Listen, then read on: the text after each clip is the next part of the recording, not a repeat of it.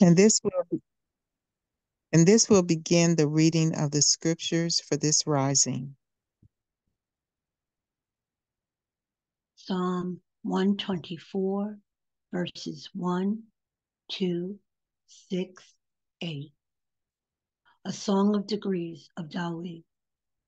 If it had not been the Most High Yah who was on our side, now may Yisrael say, if it had not been the Most High Yah who was on our side, when men rose up against us, blessed be the Most High Yah, who has not given us as a prey to their teeth. Our help is in the name of the Most High Yah, who made heaven and earth. Ecclesiasticus 35, 1, 3, 8, 16, 18. He that keep the Lord brings offerings enough. He that takes heed to the commandment offers a peace offering. To depart from wickedness is a thing pleasing to the Most High Yah, and to forsake unrighteousness is a propitiation. Give the Most High Yah his honor with a good eye, and diminish not the first fruits of your hands. He that serves the Most High Yah shall be accepted with favor, and his prayer shall reach unto the clouds.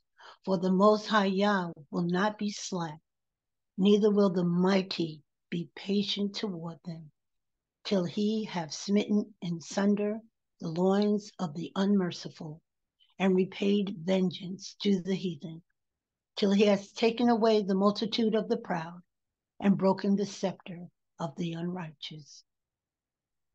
Hallelujah. Psalm 107, verse 1. Oh, give thanks unto Elohim, for his mercy endureth forever. Psalm 1.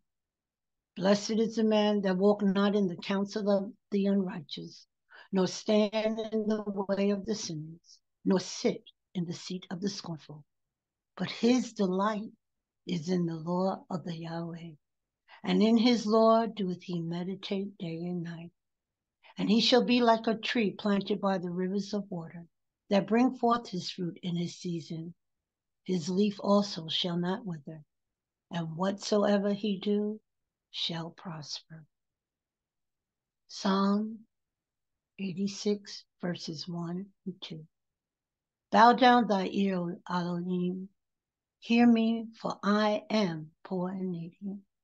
Preserve my soul, for I am is Kadosh, holy.